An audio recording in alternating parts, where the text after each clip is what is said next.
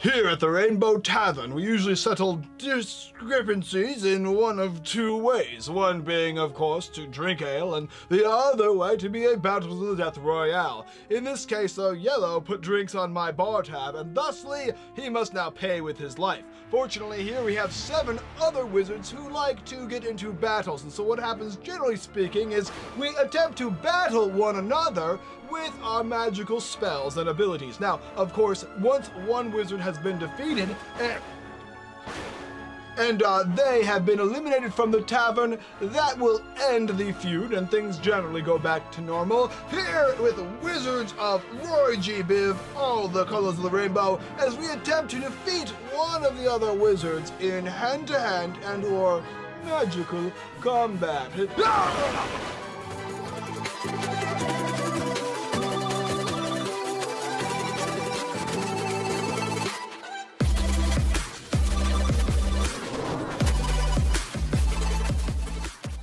Hey guys, and welcome back to another Unfiltered Gamer board game review. Today's game up on the tabletop is called Wizards of Roy G. Biv. In the game Wizards of Roy G. Biv, you play as two to six players, about 45 minutes or so to play, and for ages 12 and up. And you're playing as a wizard. Wizard in a magical tavern brawl where you're going to be having a battle royale to the death. Once one player has been eliminated, the game is over. You'll be utilizing mana and health to cast spells, buy spells from a market of different colors. You can utilize your own spells, which will be cheaper and more efficient, or you can dip into other players' spell libraries to utilize their spells. On your turn, you'll be drawing cards and playing cards and buying cards, as well as gaining things like shields and power. But the main goal, of course, is to simply remove remove all the health of another wizard from their board or fully corrupt them with corruption cubes. There's a unique little corruption tracker where you'll be moving along health and corruption mana on that board there, trying to manipulate it as best as you possibly can while your opponents are trying to dwindle you down.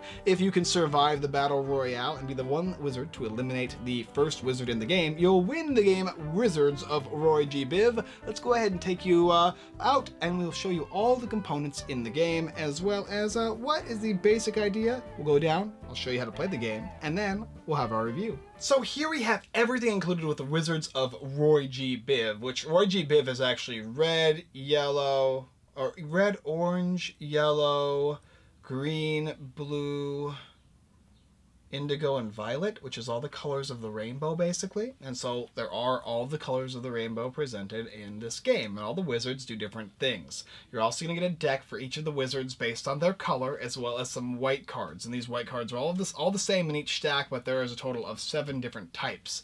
And uh, you're going to get your player board, which is your wizard to, to choose to start with. You're going to get a certain amount of power and mana based on your starting positions in the game. Everybody's going to get two power, except for this red guy, he gets an additional one.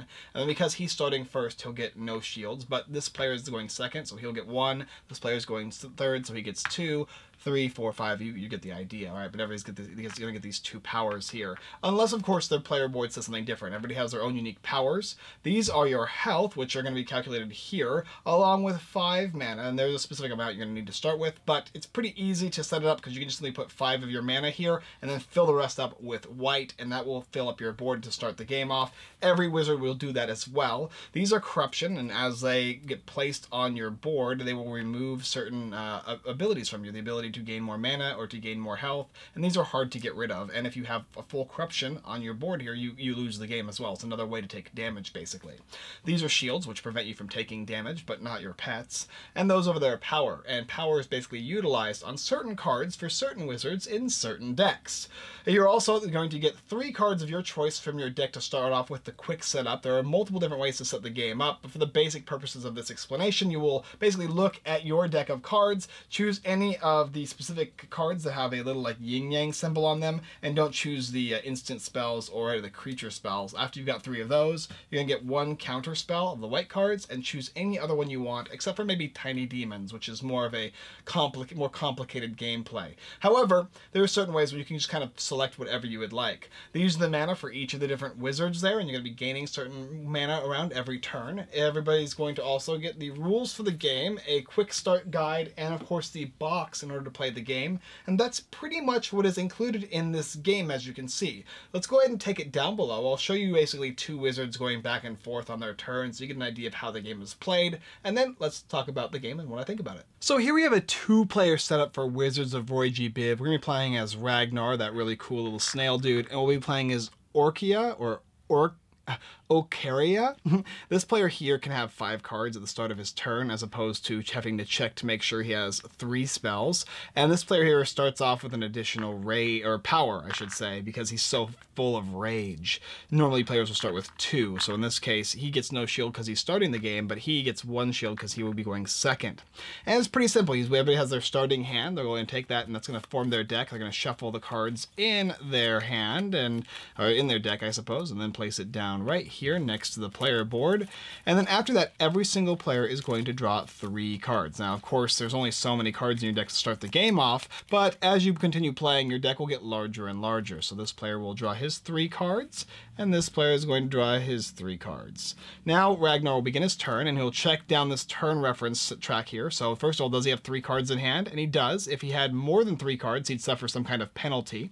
Uh, then he's going to be uh, checking any of his creature spells in front here, in in which case they're going to do some kind of uh, passive ability at the beginning of his turn. Then he's going to gain 5 mana, he's got that already to start the game with, and now he can cast spells. Spells have a cost in the top right hand corner, and then they have a type symbol on the top left hand corner. In this case is a magical spell, there are also instantaneous effects, and then there's going to be these creature spells here, which are located at the top left. Uh, this one here says that a wizard buries and gains a new spell. They pay and uh, the cost and take it in their hand. And then you draw a spell from your draw pile. And if you play the overload effect, which is removing this, then the, that wizard buries and gains one additional new spell. So it actually kind of helps people, but it also helps yourself, I suppose. And that's going to cost three to play. Magic Missiles is a useful one for Ragnar, which I think he'll go ahead and start by playing. He'll go ahead and play this card. That'll cost him two mana, so we'll remove two from his track here. And then it says you shoot a number of magic missiles equal to your power, and he has three, so he can do three damage. Each missile may affect, uh, may target an, any wizard multiple times, damaging them for one health. And then if he overloads, he gets an additional missile. He's going to keep this, though. He doesn't want to lose it, so it's going to be three damage, and it'll go ping, ping, ping. This player here is going to take that damage unless he happened to have a counter spell, which he doesn't, or something to counter that card. So he'll lose 3 health. It'll get removed from that track there. You can gain health, but it's a little harder, as well as you can gain corruption, which you don't want. Magic Missiles will go into his discard pile, but we'll go ahead and put it over here right now. And then he can play any other cards he wants. Remember, he only has 3 mana. Now, when you're playing cards, it'll cost you mana. However, you can also pay health to do the same thing. It's basically health is considered mana, uh, so you can go ahead and use health to buy cards and whatnot. But it's at a higher cost because it's of course health.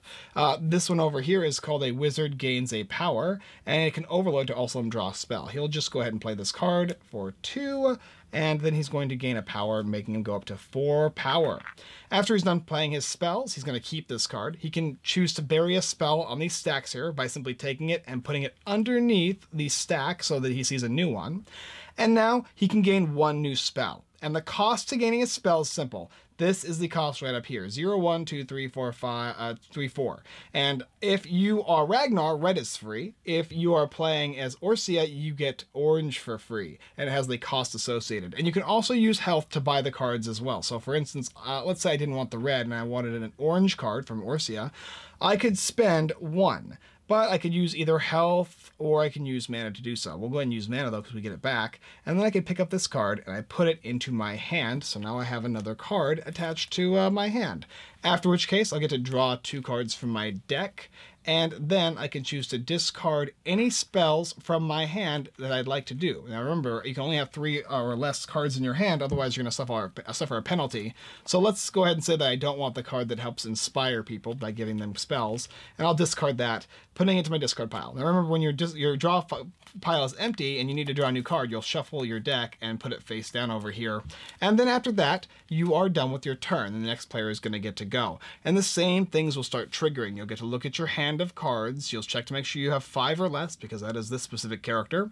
Check to see your creatures in play. You'll get to gain your mana. You'll get to cast spells. Now, in this case, he's lost some health, so he can actually gain some mana, and he can gain three mana. That's pretty useful, though.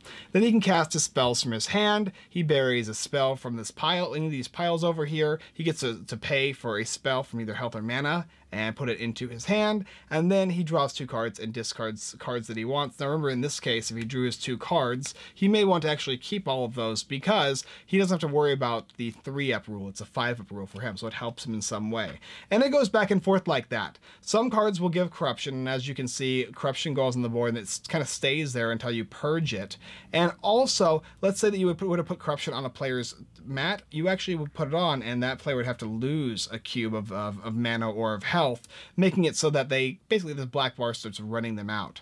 And that is basically how you play the game. Now, of course, when you run out of all these tokens here, you're done for and you lose the game, but only the person the only person who wins is the person who eliminates that player. So players are going to go back and forth helping and hurting other players to basically become the winner of the game by nuking that last player at the very end.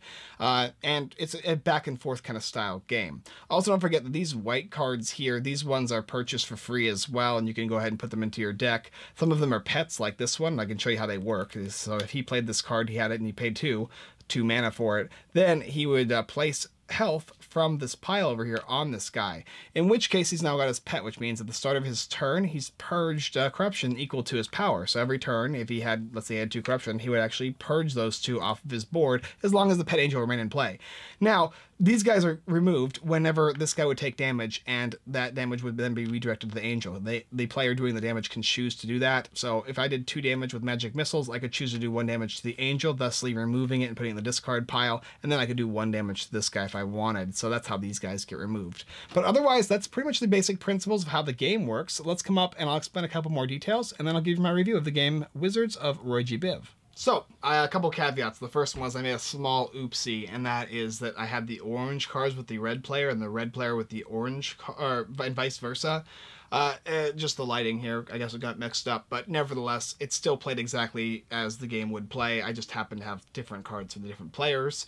Uh, nevertheless, I want to talk about a couple other little caveats. One is that if you don't like that single elimination aspect, which is more of a cutthroat caverns kind of a feel, you can play team-based, in which you can play two on two. And it also works with three on two as well, and the turns will kind of go back and forth so that everybody gets an equal number of turns. And there's another King of the Hill mode. There's all kinds of different ways that you can play the game, but it all plays basically the same way. It's just whether or not you're working with another player or not. When you're playing with the basic version of the game, it feels a little bit like the, not necessarily munchkin per se, but you're trying to help a person up until the point where you're not, because you want to destroy that player who is basically going to be losing. So slowly people start losing health back and forth.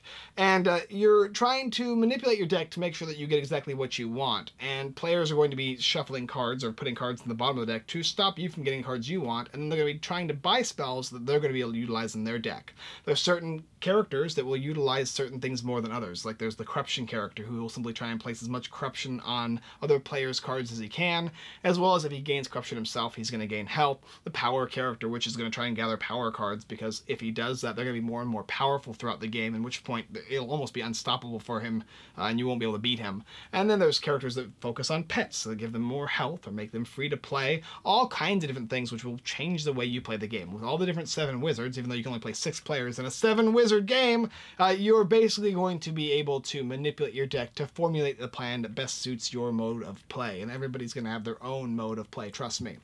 Uh, and that's basically all I want to say about that kind of stuff, other than maybe the white cards. They're basically wild cards that will help you with counterspelling, which the only one I didn't really explain is uh, if somebody's playing a card on on some on on, on your turn, or uh, it's usually gonna be a counterspell.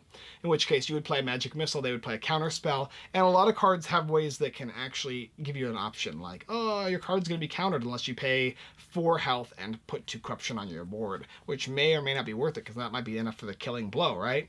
Uh, but otherwise, let's talk about the game now. So first of all, I like the artwork a lot. It's very, very vibrant, very colorful. Wizards of Roy G. Biv feels like a crazy rainbow wizard tavern ball, brawl type game.